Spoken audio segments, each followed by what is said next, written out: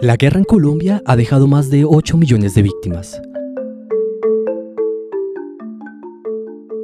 Suacha, municipio que ha acogido a más de 50.000 afectados del conflicto armado, posee relatos formidables de superación que abren puertas a la paz. Cecilia, Franklin, Marino, Karen y John nos demostrarán que a través del arte y la labor social, la guerra será vista desde otro ángulo, desde los caminos de resiliencia.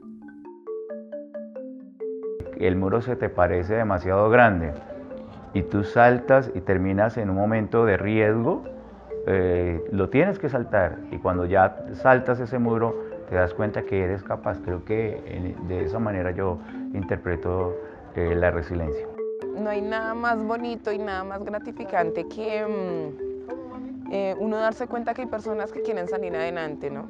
Digamos que detrás de tantas historias malas, como que de tanta violencia, de tantas, no sé, pérdidas, digamos que detrás de eso haya gente que quiera salir adelante, que quiera superarse y que quiera dejar eso atrás. Creo que eso es lo más bonito de la sociedad, ¿no? Cinco historias que te harán creer.